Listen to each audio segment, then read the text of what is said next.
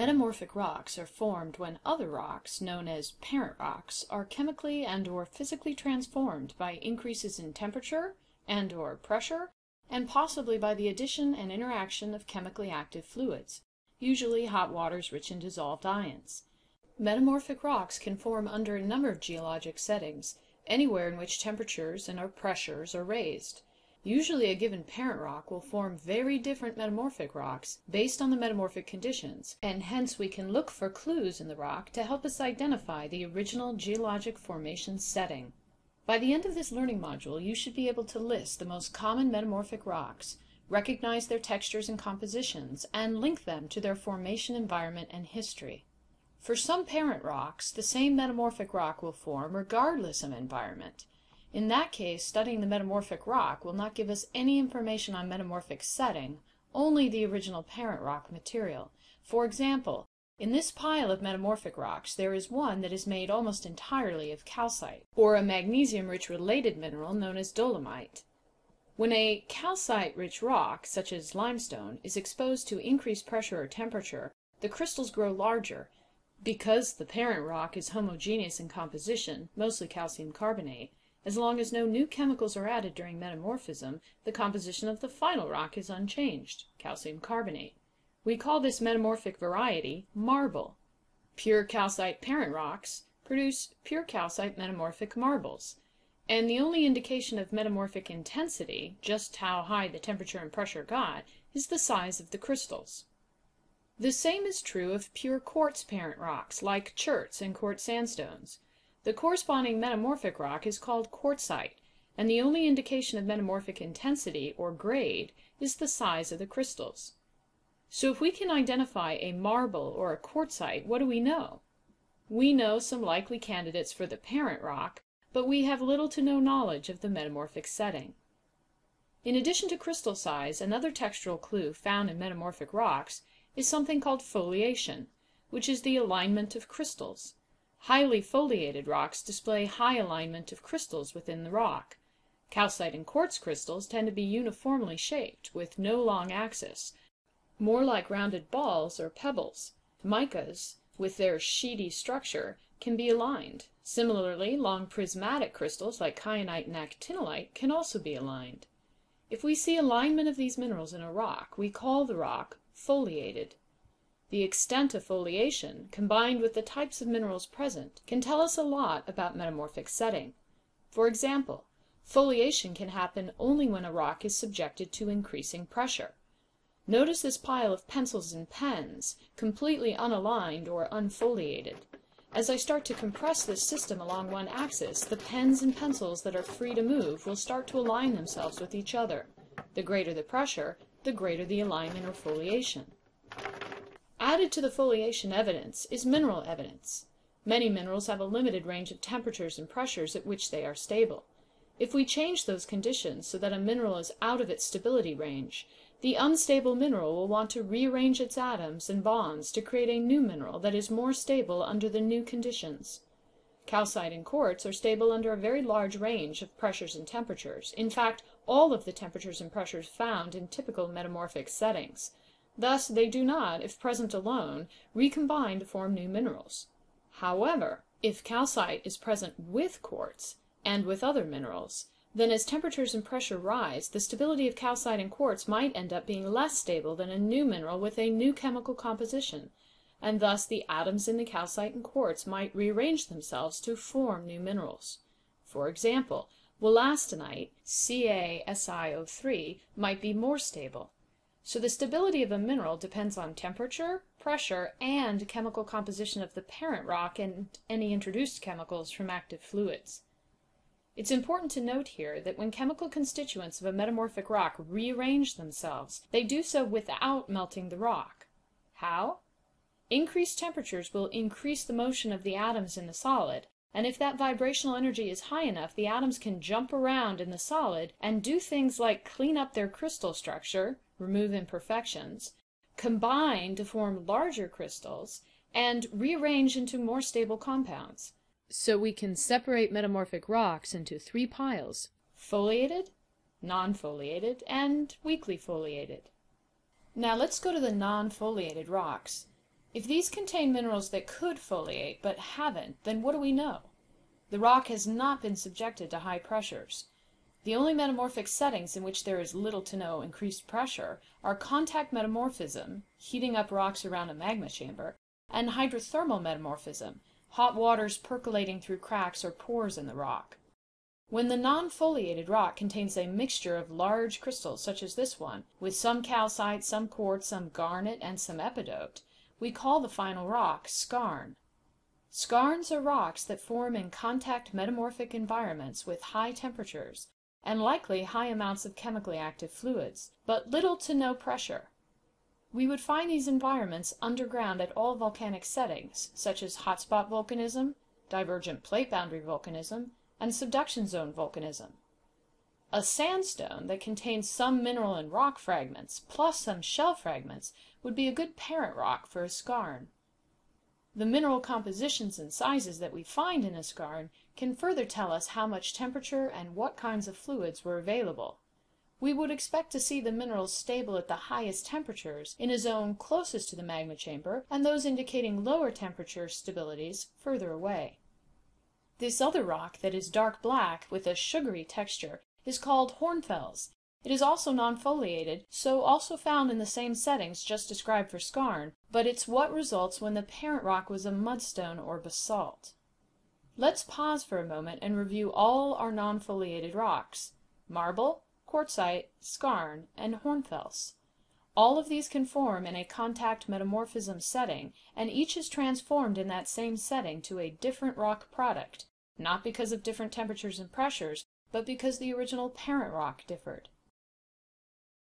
Rocks with clear foliation show a clear alignment of minerals, either in visible bands or microscopically as micas that are aligned and give the rock a sheety or slaty cleavage.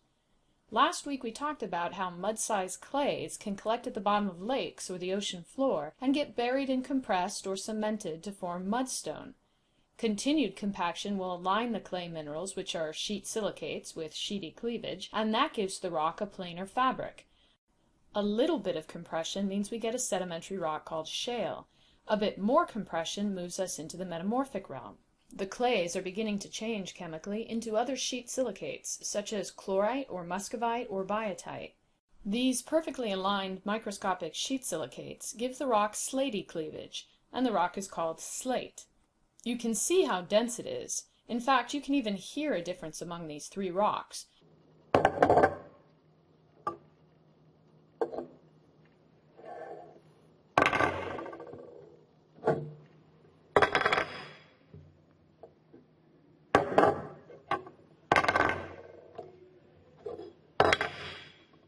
Mudstone is less dense and compacted. Shale is more dense and compacted. Slate is the most dense and compacted.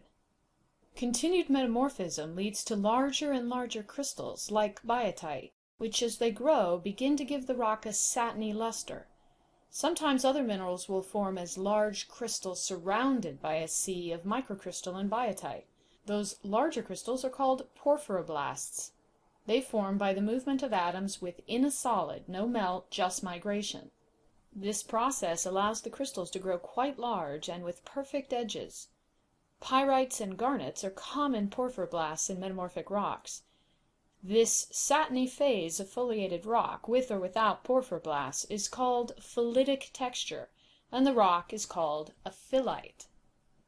As metamorphic intensity or grade increases, the mica crystals become visible to the naked eye. They can grow so large they give the rock a scaly appearance. We call this texture schistosity, and the rock is called a schist. As metamorphic grade continues to increase, the dark and light colored minerals begin to separate into bands known as gneissic texture, and the rock is a gneiss. Gneiss form through high grades of metamorphism of mudstone or granite in settings where pressure increases with temperature, such as deep burial, converging continents, or subduction zones. Increasing temperatures at this point can cause the light colored bands to melt so that half or a fraction of the rock is molten, but not all of it. This situation leads to folding of the bands, and a rock displaying contorted, folding, alternating colored bands. When the molten bits solidify they create small layers of granite within the metamorphic rock. We call this rock a migmatite. Any further increase of temperature will cause full rock melting and lead to igneous rocks.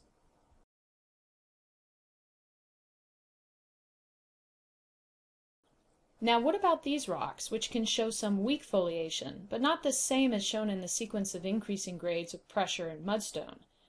Let's start with this familiar green rock, made entirely of the mineral serpentine. The rock is called serpentinite, and it forms when olivine is hydrothermally metamorphosed.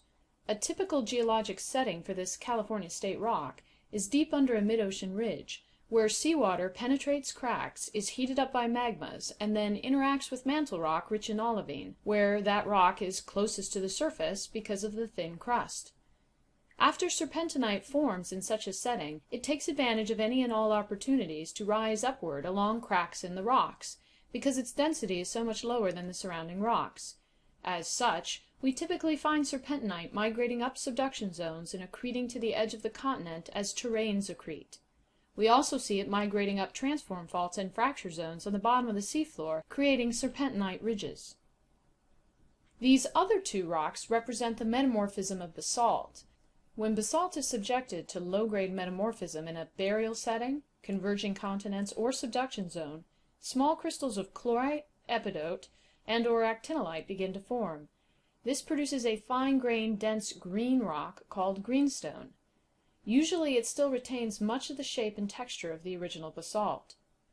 If this rock undergoes increasing pressure and temperature in a converging continents or deep burial setting, the crystals will grow larger and eventually actinolite crystals will dominate the rock.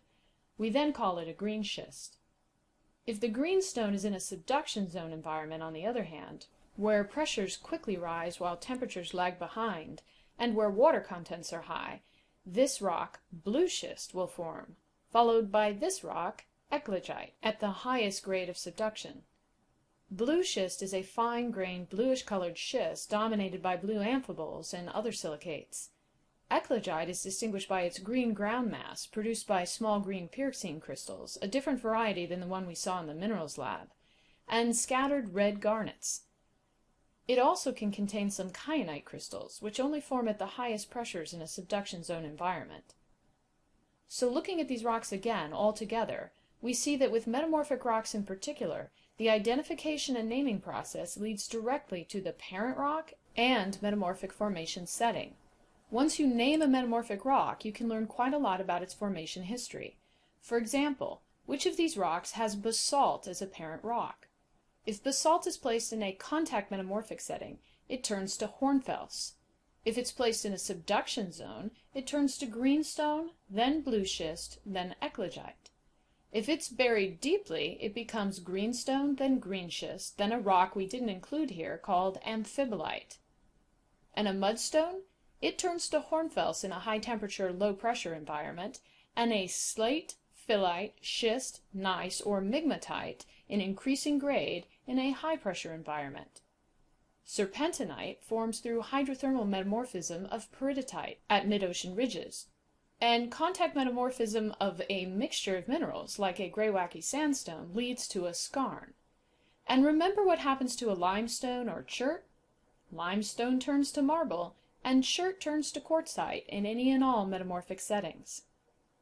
In this review of some basic metamorphic rock types, we have greatly simplified the very complicated field of metamorphic petrology.